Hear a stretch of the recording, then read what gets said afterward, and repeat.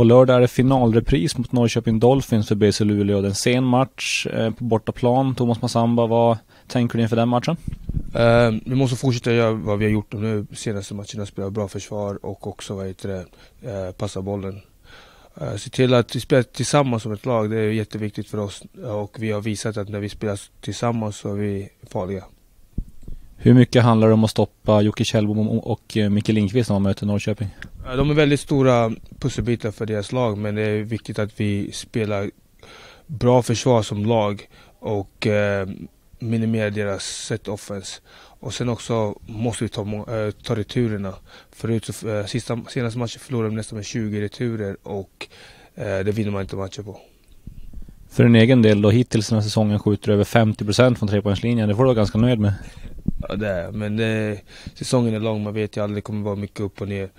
Men jag kommer vara aggressiv, det är vad de begär för mig här. Coacherna begär att jag är väldigt aggressiv i anfallet och jag kommer fortsätta vara aggressiv. Känner du att du är en underskattad skytt?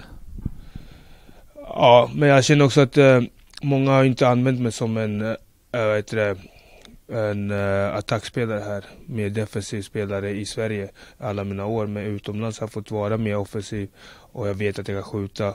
Äh, och jag litar på mitt skott och mina lagkamrater litar på mitt skott också. Och nu har du gjort några månader i BC Luleå. Det känns som att du har börjat komma in ganska bra i, i spelsättet här nu. Ja absolut, absolut. Eh, vi är inte där ännu. Jag är inte där ännu.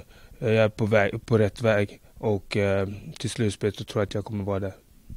Till sist då, hur viktigt är det att vi får en seger mot Norrköping imorgon? Väldigt viktigt för att eh, vi måste klättra upp. Vi började säsongen väldigt tufft, förlorade några matcher som vi bo inte borde eh, eh, förlorat. Eh, så vi måste vinna mot de bortamatcherna mot tuffa lag. Tack